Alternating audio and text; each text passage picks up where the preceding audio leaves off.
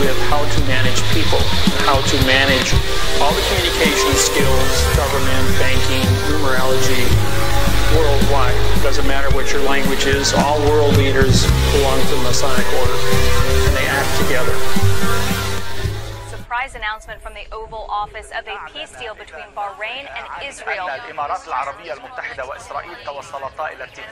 President Trump announced it just weeks after the United Arab Emirates took the same step. Some praise it for promoting peace, and others call it electioneering for Trump and Netanyahu. The Abraham Accords. Behind all the talk about peace between Israel and the Gulf states, there is a lot of posturing and even more PR. In the United States, an affiliate of the Al Jazeera network, AJ Plus, is ordered to register as a foreign agent. They've reported on mounting crises, a chronically corrupt government, a collapsing state, and then came the blast. What's it like to be a journalist in Lebanon today? And a Saudi musician teams up with an Israeli one to create one of the many meme worthy videos that have come in the wake of the Abraham Accords. Bahrain will fully normalize its diplomatic relations with Israel. This is a truly historic day. It was a signing ceremony laden with symbolism and spin. The three countries, Israel, the UAE, and Bahrain, committing to peace, have never been at war. Any sticking point in their relationship prior to this had been over Israel's occupation of Palestine. But there were no Palestinian representatives at this event. This day is a pivot of history. It heralds a new dawn of peace. What was unfolding in Washington, D.C., in front of cameras from around the world, was a triumph of political strategizing and messaging. A normalization of regional relations that doesn't meaningfully address the schisms and injustices faced by people living in the region the way that the UAE deal was sold, they actually tried to sell it as being something good for the Palestinians. And so they did this whole show of this being about stopping the annexation of the West Bank and how they were actually supporting the Palestinian people. دولة الإمارات العربية المتحدة مع الشعب الفلسطيني داعم مستمر واعتقد الرساله كانت واضحه يعني من بدايه الاعلان عن المعاهده Even now with the ongoing trend of trying to shift the discourse around Palestine and around normalization they know they still need to sell it as something that's good for the Palestinian people. They're trying to confuse the the question here from being one of occupation to being one of interfaith. They are part of this land. They are part of our region. The Jewish people belong here. This is the part which goes out on TV shows and, and, and sermons and stuff. They're trying to make the acceptance of Israel a matter of tolerance. Let's tolerate Jews, which of course we have no problem with. It's not a matter, our problem has never been with with Jews as being Jews. This is our problem is with the colonization of Palestine to most Israelis, the relationships they have or have, haven't got with Israel has not been a major political debate. But ever since Gulf officials started publishing op eds and uh, videos in the local media in Israel, uh, the whole question of the relationship between Israel and the Gulf states surfaced. Many of the stories about the Gulf states over the past couple of months uh, have focused on the hotels in the Gulf states and how Israeli t- tourism could enjoy the exciting attractions in the Gulf states. The Palestinian question was sidelined almost entirely. For all the players in this field, the Arab countries, UAE and Bahrain, Israel, and the United States, which has claimed the role of peace broker, the deals are a response to the pressures of realpolitik an assortment of strategic and political concerns that have trumped what was once the Arab consensus that normalization with Israel would be contingent on the creation of an independent Palestinian state. I think what has happened with the UAE and Bahrain is that now normalization is front loaded and anything to do with the occupation comes afterwards. They have different sets of reasons. Bahrain is focused on one thing and one thing only Iran. Bahrain regards Iran as an existential threat.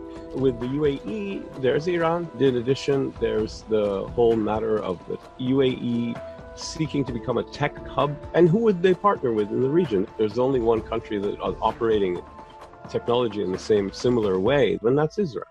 Clearly, Israel has an interest in um, developing some kind of economic, financial relations with the Gulf states and perhaps collaborations fighting Iran. But mostly Netanyahu had had a clear interest in distracting the public opinion in Israel from his own upcoming corruption trial. And together with the COVID crisis, which is now skyrocketing in Israel, for him to bring a national achievement is very important. And clearly for Trump, too, uh, this is a good distraction from COVID and an important achievement before the elections. The fanfare across much of the Arab media has been designed to cover all the bases. There are the newspapers, such as the UAE's Khaleej Times, which ran a cover page greeting Arab and supposedly new Israeli readers. In the days following the UAE deal, religious broadcasters in the Gulf delivered sermons on TV and online emphasizing the duty of Muslims to trust in the decisions made by their leaders. الحكمة هو تحقيق منافع المسلمين ودفع المفاسد عن المسلمين ويرجع إلى ولي الأمر the TV messaging extended beyond the Gulf. Three channels, Dubai TV, Bahrain TV, and the Israeli channel 12, hosted a simultaneous live broadcast to mark the signing of the deals. Online, however, is where the stakes in the messaging battle have been the highest, and Twitter is ground zero. When the UAE deal was announced, there were waves of effusive Emirati tweets. The notion that it was all sincere and spontaneous was shattered by another set of tweets from pro government verified accounts asking that the UAE's security services monitor Twitter for messages critical of the deal and punish those people. Keep in mind that a lot of the accounts that you see are basically they're not voices. We should not call them voices because they don't have their own voice. These are nodes in a government operated, government funded disinformation network. The fact is that since 2011, Twitter went from being the parliament of the Arabs and the most important Arabic speaking public sphere to being an engine and a tool of repression for these dictatorships they create a kind of an alternative reality there because you, you don't know what the Saudi people actually think. You don't know what the Emirati people actually think because they are unable to speak. On the other hand, in Bahrain, it was quite the opposite. Twitter became the platform for people to come out and say, we actually stand against this. This does not represent the Bahraini people in Bahrain, you have more of a history of people protesting, especially when it comes to Palestine. And that's why there's also this difference between the reaction that we've been seeing in the United Arab Emirates versus the reaction that we have been seeing in Bahrain since the normalization. The engagement between Arab countries and Israel has been a reality for years. Israel leads certainly the region, if not the world, in spyware and surveillance technology and it has found willing and eager customers across the Middle East. The Saudis kind of uh, started purchasing hacking tools and surveillance technology from the Israelis in 2017, but but all, all indications is that the, the Emiratis had access to these long before that. Of course, the selling point of this technology is it is kind of a, a surveillance superweapon. So, you know, if you're an Emirati or if you live in the UAE and they have this software, it's uh, it's almost a foregone conclusion that they will be able to get into your phone. Not only is Israel providing hacking technology to these governments, it's also offering its own intelligence analysts to help them make sense out of the megabytes and gigabytes of stolen data. So this goes back to the point that this is more than simply a normalization agreement. This is a full-on alliance. Israel is offering these governments everything that they need for them to quiet internal dissent, to target dissidents, target journalists, target human rights activists. In return, these governments, of course, are giving this gift of normalization and uh, diplomatic victories to the Netanyahu government and to the Trump government. The deals with the UAE and Bahrain mark a new phase of normalization between Israel and countries in the Middle East. Oman and Sudan are rumored to be signing up next. There are some countries, however, for which the red line with Israel is non negotiable. Kuwait, for instance. A couple of years ago, you would be excused for thinking Saudi Arabia would also not consider formalizing its relations with Israel. it looks like that road isn't completely closed anymore. There is a sense in which most Saudi commentators and reporters are keeping the space open for Saudi Arabia to maybe do it. They're not thundering against it. Any Saudi who reads between the lines would uh, realize that their country is being helpful to Bahrain and especially to the UAE. And so that means that Saudi Arabia is not closed to this by any means. History was made at the White House today. Israel. Normalization has taken up a lot of airtime the celebration of the deals done, the anticipation of the deals to come, and the speculation of what Saudi Arabia might or might not do. For all the talk of peace, though, the notion of a breakthrough in the region, the people who have been awaiting peace and a resolution, the Palestinians, they remain unconsulted and unheard from. Target a specific individual, change or eliminate that individual with very little attribution and trace, and be able to leave prior to any attribution. Who here actually feels like they are under surveillance pretty regularly? Everyone occupies, no? Everyone inside of Occupy. How many people here have been arrested and had their at their court date they had their phone taken into the back room?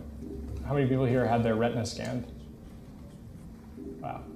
If you're targeting demonstrators, you, you make them suicidally depressed uh, and they, they're not they don't care about demonstrating anymore because they're too upset. With one pulse frequency, you can just make people so suicidal they can't be bothered to act like a demonstrator anymore. All they want to do is sleep or lay in bed all day. There's an infrastructure in place in the United States and worldwide that NSA has built in cooperation with other governments as well that intercepts basically every digital communication, every radio communication, every analog communication that it has sensors in place to detect. If they can't get it through the internet, through the tapping of the lines or anything like that, through a commercial means, and they're unsure about you, they can get it by close access means, uh, coming in and actually bugging your house or bugging your uh, or putting monitors in your system in your house or on your computer. They can use your computer video to look back at you, or they can monitor um, within a certain distance the keystrokes you're making on your computer or what you're putting on your computer screen. And if that's not enough, they can come in through the firewall you think you have but don't, and go through your operating system that think you think protects you but doesn't, and read your uh, encrypted email that you thought was secure but isn't or they can simply wait for you to do decrypts if you've done that, pull them off, and use your unused CPU while you're on the computer to drain it. It's called active attack. We are in a new Cold War. Um, and this is why countries um, are developing this. I mean, really developing this. Uh, and this is why all of the microwave transmitters are going up everywhere uh, because somebody, if they wanted to, could use them for other effects. The system is up and running. MIT was uh, awarded a number of years ago to Woody Norris. Um, this is 2005 or 2006. And that award was a half a million dollars for doing what's called acoustic heterodyning, being able to send a signal from two points into an individual so they literally hear a voice in their head that nobody around them hears. I mean, voices are the easiest ones because all you have to do is stimulate uh, stimulate the cochlea with a, a, set resonant frequency. It's very easy. Uh, voices are very easy, um, and the it isn't people imagining voices; they physically hear them. You can physically make people hear voices, certain voices, and, and it can be it, any conversation, um, and it, it, can be anybody you want to hear. It can be a soft, angelic voice. It can be a god. Uh, it can be something that scares you, like a devil. It, it can be anything. DARPA let a couple of contracts back in 2011, 2012 to the University of California for what's called electronic telepathy, being able to monitor the brain activity of human beings at a distance and determine what they're thinking. And then on a second contract, actually developing complex signals, being able to send them into the brain of another person, literally transmit a message. Um, this is where the technology is today. What we're here to talk about today is the fact that the brain is and will be the 21st century battlescape in many ways. End of story. You will encounter some form of neurocognitive science that has been weaponized not only in your military career, but in your personal and professional lives. It is valid, valuable, and already in operational play. The brain is the current and future battle space. What's new about this is the in close nature of this. Increasingly, we're not seeing these things as weapons of mass destruction against gross aspects of the population. More specifically, perhaps, might be targeting individuals on a level that allows either direct attribution or covert engagement with non attribution. Formal definition of a weapon, probably the one that you've heard about most recently, most contemporaneously in, in the literature, is the possibility to use some form of directed energy to affect physiology peripherally and also to affect the physiology and health of the brain. Case in point here, US Embassy personnel in Havana and possibly in China. Clearly, one of the things we can also do is transcranial neuromodulation, the idea of going through the skull to modulate the node and network activity of the brain, to implant certain brain machine interfaces. These are many of the DARPA programs that you may hear of now. Probably the one that is most notorious is something called the N3 program, which is the non invasive neurosurgical neuromodulation program being run by their program manager, Dr. Al Emondi.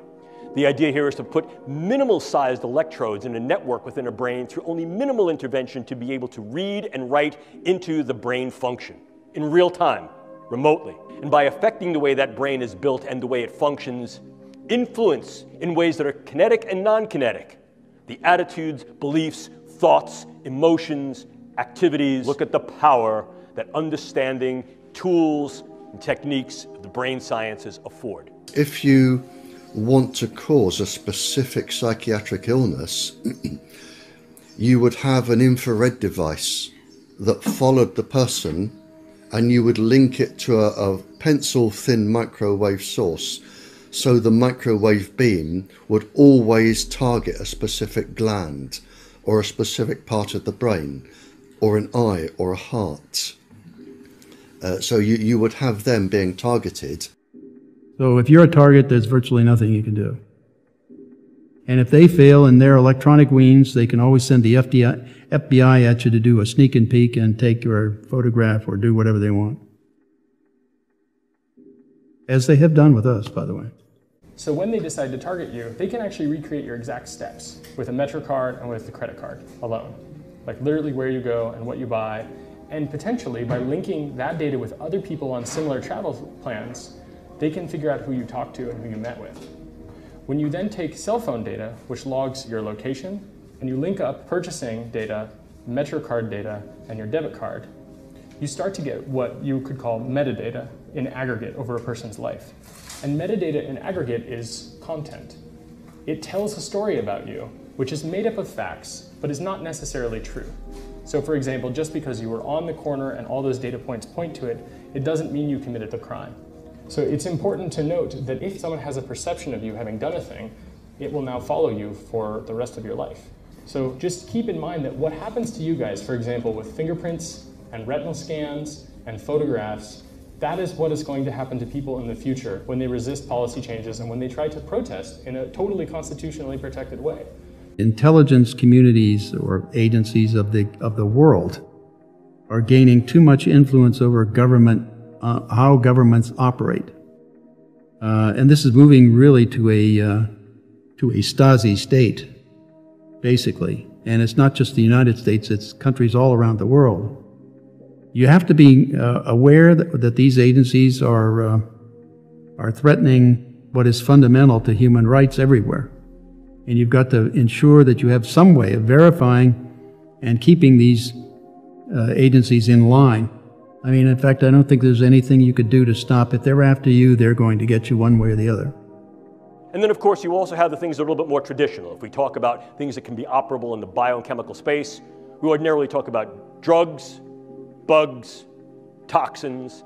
Scientists are working to genetically engineer a tomato which can act as an edible coronavirus vaccine. And ever more, we're considering devices with these capabilities, basically the, the vast majority of human and uh, computer to computer communications, device based communications, which sort of inform the relationships between humans, um, are automatically ingested without targeting. And that allows individuals to retroactively search your communications based on self certifications. So, for example, if I wanted to see the content of your email or, you know, your wife's phone calls or anything like that, um, all I have to do is use what's called a selector, um, any kind of thing in the communications chain that might uniquely or almost uniquely identify you as an individual. And I'm talking about things like email addresses, IP addresses, phone numbers, credit cards, um, even passwords that are unique to you that aren't used by anyone else. Um, I can input those into the system and it will not only go back through the database and go, have I seen this anywhere in the past? It will um, basically put an additional level of scrutiny on it moving into the future that says if this is detected now or at any time in the future, I want this to go to me immediately and alert me in real time that you're communicating with someone, things like that. If they want to experiment on you, by the thousands, they will. And you can be driven to insanity and death, uh, and you just become a tick in a box without any so much as a, a feeling. Yeah, and this is what they do, and this is why they are above the law. One of the experiments was to take an ordinary sane person, cause insanity, and have a, a psychiatrist who was unknown to everybody diagnose schizophrenia or paranoia or a psychiatric illness. That was a successful outcome. And the, the person would spend the rest of their life in an asylum in misery, but to the government scientists, that was a success. We also see the use of biodata as a viable weapon, manipulating biodata so that I can then put into your particular medical records subtle information that may change the disposition of whether you're sick or not, change how you're treated, influence the postures that go to you in terms of insurance, care, viability for military service. By altering that information, by changing those data, by purloining those data, I essentially change the you of you.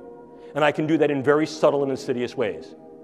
Furthermore, I can do that on a variety of different levels that can affect key individuals so that in fact your medical record changes to thereby render you incapable or at least invalid to be able to serve in a way you're serving. Or I can do that on a much larger scale, groups, populations. And if I change those data, I change the way you're being regarded and treated. And I can do that in one of two ways. I can do it in such a way that you're going to be regarded in a negative sense, or I can do that in such a way that I'm going to treat you incorrectly. If I say, for example, you have a particular allergy or you have a particular disorder, you will be treated for that, and that could then harm your health and your stability in both a short wars approach as well as a long wars approach. Low level microwaves were causing a, an enormous amount of cancers and leukemias and ill effects. and by then, it, everybody was leaping onto the microwaves as stealth weapons, and they go from there, which was the 50s, uh, right up to and including the present day.